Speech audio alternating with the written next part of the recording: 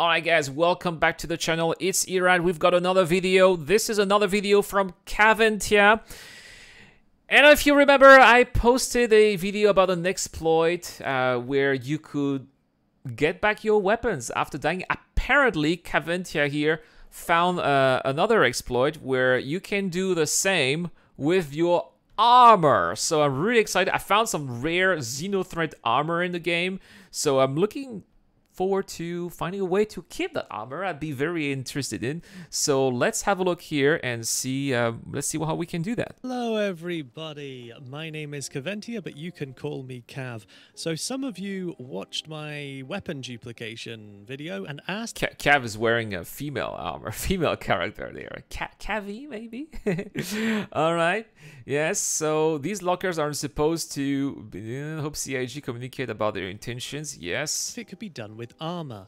Well, turns out, yes, it can. And this right. is how we do it. Let's get into it.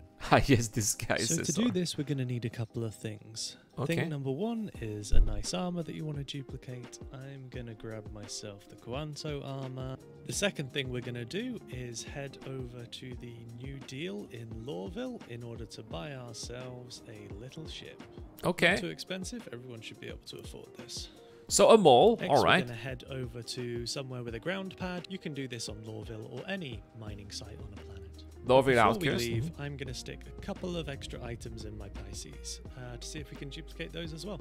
Next, we pull out the Drake Mule. Mhm. Next, we're going to drop some of our tasty armor on the ground and store it on the mule. And let's load up the mule. Okay, so Oh, there's the armor here, That's and fun. put it in the Oh, personal storage, I suppose.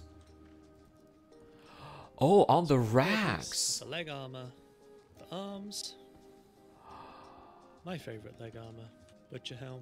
the sidearm helmet is Oh, No. on the racks, just like boxes of cord, and then you're going to remove something, and then put it back, save the loadout, and it will come back. no, no. We're going to go inside, store it, go to our vehicle loadout. Oh no! It works with that. A cooler off. Save.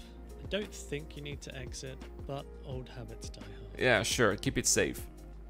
Re-equip the cooler. Now this should have state saved our mule, so that when Yeah, so it's just like the cooler, of course. So you remove the cooler, you put it back, and it state saves with what is equipped on it, including the armor pieces. No! pull it out, the ASOC vehicle retrieval the insurance for the mule should now be updated Mhm. so that it has our gear on it. And as you can see, it's got some boxes on it, which is good news. Oh my gosh, of course. That would be great. Store. And that is Right, how Looks like you need to detach them. you are not going to be losing well, your armor. repair, so I consider this one junk. Let's go get a new one. We'll just claim ourselves a new mule, and either we can wait three and a half minutes, or we can. That's fine, it's just a thousand FIUC. Vehicle selected. And as you can see, the mule spawned back in full of the armor that we had stored in it.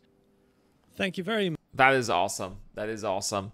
Oh, I guess uh I guess I'm going to keep my Xenothreat armor. Now again, big question. Is this a feature? Is this an exploit?